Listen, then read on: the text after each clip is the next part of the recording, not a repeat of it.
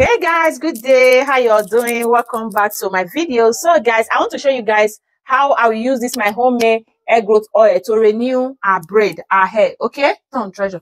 So this is it. I want to renew the hair okay? Because i wanted to plait it this week but i was not having time guys. As you can see i'm tired. I want to go and sleep. So i want to renew it now with this oil okay? So i want to show you guys how you will apply the oil okay? So this is it. It's just for you to apply it and leave it. You don't need to wash it out okay so this is how you'll be applying it every day okay? It's daily stuff. Try to remove your glass. So if you want to know on how i make this oil so go down to my video. You are going to see it there so you use that bottle to locate the video. So this is the this thing that i'm going to be working with the rubber band okay? So i will not add any other thing but if you want to add any other thing, is water. But I don't want to add water because it's night. Okay.